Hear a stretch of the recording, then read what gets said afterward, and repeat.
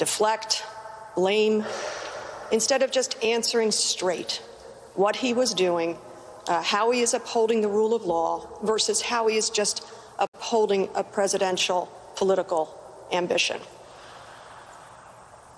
None of that is a surprise. I know your questions focused on the clearing of protesters in Lafayette Park. And in a separate hearing yesterday, basically at the very same time, we saw a member of the National Guard testify that chemicals were used. You told my colleague Joy Reid that Bill Barr lied to you under oath about his role in that event. Given all that, what are you going to do about that?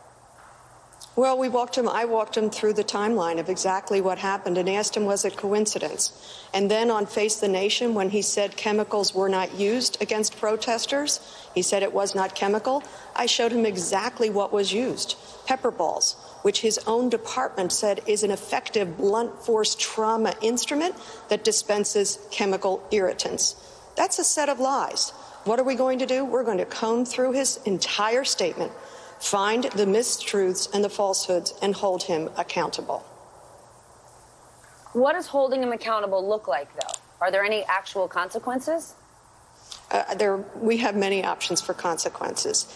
What I what want people to know is we actually have to hold him accountable to the American people. You saw his affect yesterday. He was disrespectful, spoke over top of every one of us. In particular, he spoke over women.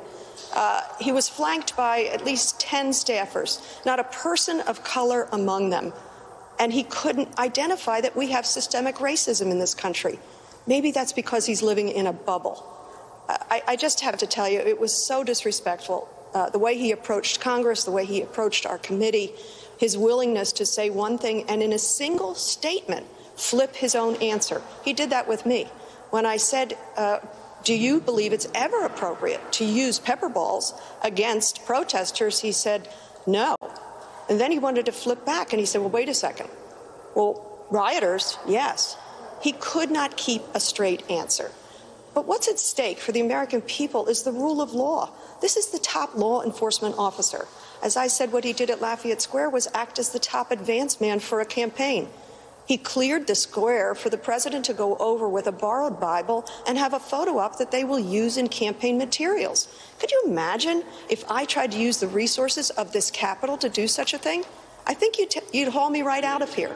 This is an attorney general who has sworn an oath of office. He swore the truth to us. Uh, and uh, I, I, believe he should resign. I have called for that a long time ago. Uh, he's terrible for the morale okay, of the office. Go ahead.